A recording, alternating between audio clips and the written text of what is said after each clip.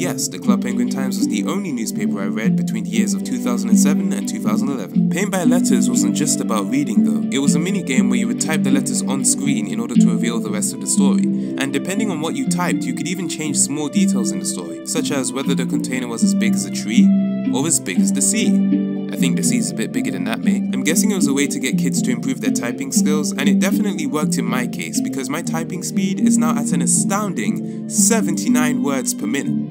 I mean, I'm no Izzy typing at 216 words per minute, but you know, easy crazy. Let's face it though, nobody joins Club Penguin to read books. It's all about the games, and you can tell the people over at Club Penguin worked very hard to make sure that they came up with as many penguin themed games as possible.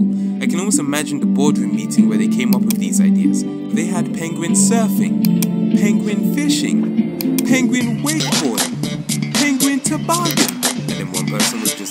hey, how about penguin jetpack?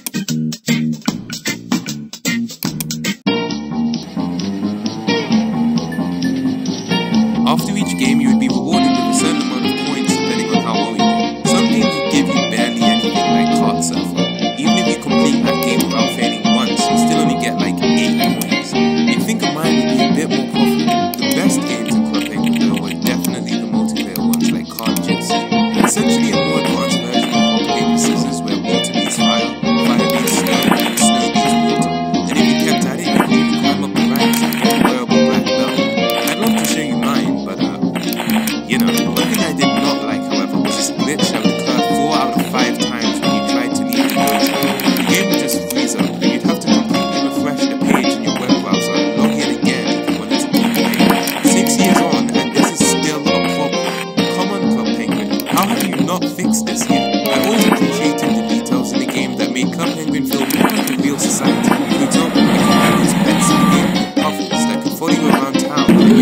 take care of them by giving them food. They were way better than those pets you could get Yes. Those are the ugliest things I've ever seen in my life. One thing that always got me was that if you didn't look after your puffle properly and it died of starvation or something, you get a postcard saying that your puffle has returned to the wild.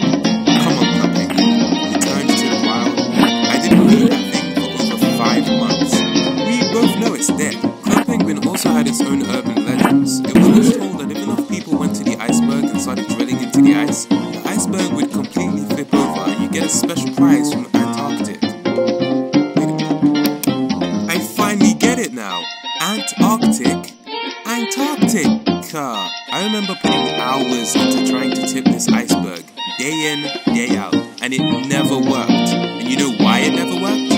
Because it was a myth. Who even came up with that idea in the first place? Have you seen an iceberg? What, you think the thing's just gonna do a 180? So after many years of